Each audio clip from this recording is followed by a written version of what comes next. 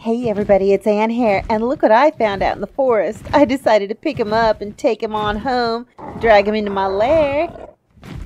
Look at his big muscles. Yeah, he might be a little bit sickly, a little under the weather, but that's okay. I remember there was this one guy who was trying to pick up on me, and he's like, Oh my god, I've got a diseased liver. And I'm like, Cool. We dated for three months. Let's see what's going on down at the homestead. Hopefully, Chloe, Chloe, my attack guard, not dog, parasaur thing. Hopefully, she won't scare him away. Oh, damn it! Can I have, can I have one dude here, please? Wait, wait, forest dude, don't go away.